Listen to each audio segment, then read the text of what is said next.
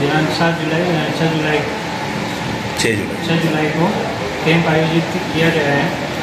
इसमें यहाँ पे कोर्ट के जो भी कर्मचारी हैं वकील और तो इनका स्वास्थ्य जनरल स्वास्थ्य परीक्षण किया जा रहा है। इसमें हम इनकी कुछ जांचें जो हमारे हॉस्पिटल द्वारा फ्री में करवाई जा रही हैं। बाकी इनके अलावा जो भी किसी को अगर कुछ प्रॉब्लम दिखती हैं। तो उसके लिए हम मैं एडवाइस कर रहा हूँ और प्रॉब्लम से संबंधित इनको ट्रीटमेंट भी दिया जा रहा है। अब तक कितने वकीलों को आप देख चुके हैं? अभी तक तो मैं सात वकीलों को रिक्वेस्ट कर चुका हूँ। उनमें से सभी की जनरल हेल्थ चेकअप नॉर्मल आ रहा है। बाकी एक दो की थोड़े ई सी जी एबनॉर्मल है तो उनको ये प्रोफ़ाइल वगैरह एडवाइस किया गया है।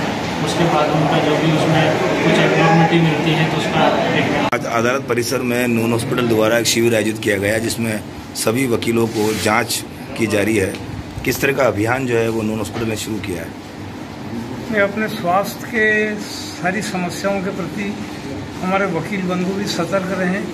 उनकी जाँच होने से उनके परीक्षण में अगर कोई कहीं कमी है या किसी प्रकार के रोग की आशंका है तो वो उसका इलाज कर सके, क्योंकि हमारा स्वस्थ वकील ही पैरवी करने में सक्षम होता है और स्वस्थ वकील ही न्याय दिलाने में समर्थ होता है। तो उस उद्देश्य को ध्यान में रखते हुए ये कैंप आयोजित किया गया है और इसमें सब वकील बंधु बढ़ चढ़ के भाग ले रहे हैं। सारे लोगों का टेस्ट हो रहा है इस टेस्ट में ई भी हो रहा है और कई सारे और बाकी टेस्ट हो रहे हैं। आँखों का टेस्ट हो रहा है। और शुगर रैंडम वगैरह सारे जो टेस्ट हो सकते हैं ब्लड के। पूरा ब्लड कल्चर हो रहा है। एस पी हो रहा है। इस तरह के सारे टेस्ट किए जा रहे हैं ताकि इसकी रिपोर्ट मिलने पर सारे वकील बंधु इसका स्वस्थ रहें। पुनरावलोकन भी करें। और हमारा उद्देश्य यही है कि वकील स्वस्थ रहें। थैंक यू आज आपके द्वारा एक परिसर के अंदर जो कैंप रखा गया है, जिसमें सब तरह की जांचें जो हैं, वो वकीलों की हो रही है। किस तरह का जो शुरुआत है, आज अदालत भी शुरू हो चुकी है क्या क्या जांचों में क्या क्या पर्याप्त जो है जांचें हो रही हैं? जाँचें शुगर की भी है ब्लड प्रेशर की भी है ई भी है सीबीसी भी है। एसजीओटी और एसजीपीटी भी है अ, वर्तमान परिप्रेक्ष्य में हम देखेंगे तो कोरोना से जो लोग निकले के आए हैं। इस महामारी से लड़ने के लिए हमें स्वास्थ्य के प्रति बिल्कुल सजगता से रहना पड़ेगा।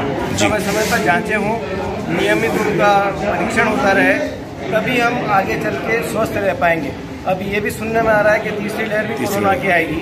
तो उसके प्रति ये पहले से हमारे एडवांस कार्रवाई कर रहे हैं ठीक है थैंक यू।